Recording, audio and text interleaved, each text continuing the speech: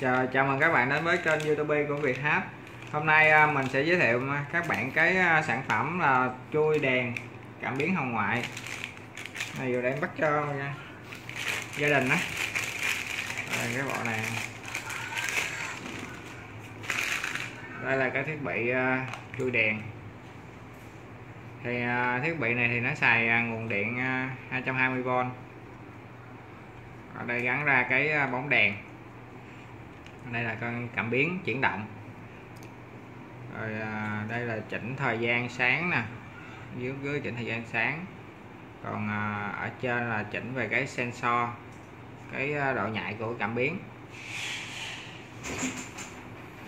Rồi giờ mình sẽ đấu điện vô để test cái à, sản phẩm này nha. Ở đây thì nó có à, cái à, hướng dẫn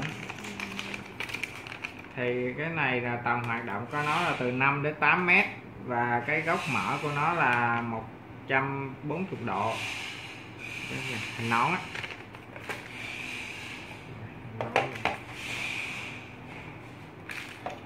Ở đây mình đấu điện 220 vô. Ờ, cấp nguồn trước khi đấu nha các bạn.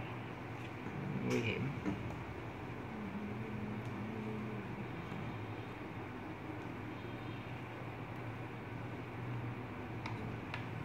Quấn băng keo à, cách điện rồi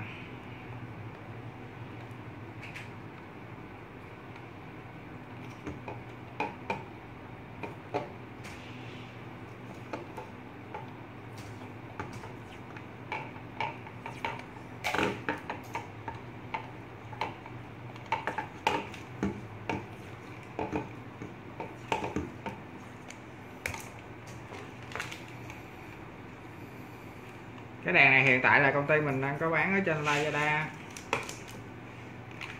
Rồi xong. Mình thử gắn cái bóng đèn vô.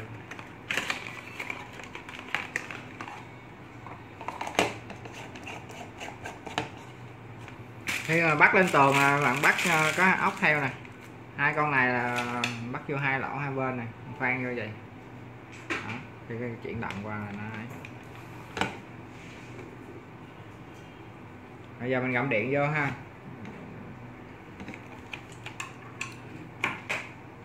Rồi, nó sáng. Sáng bây giờ phải có, không có chuyển động thì nó mới tắt. Nó tắt á. Cho nó tắt. Mình thử mình dán cái này lại nha, để cho nó chứ để mình chuyển động hoài là nó cứ sáng hoài luôn. Rồi.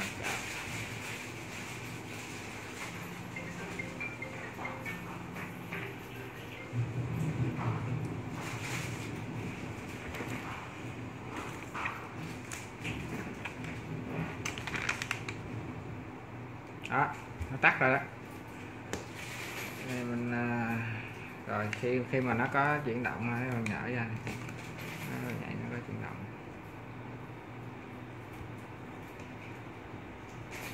Đó. Cái chuyển động này nó sáng lên. Thì cái nguyên lý hoạt động của nó là vậy thôi.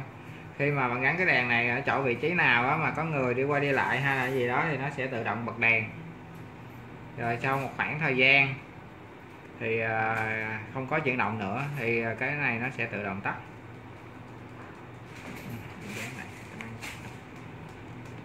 Che lại.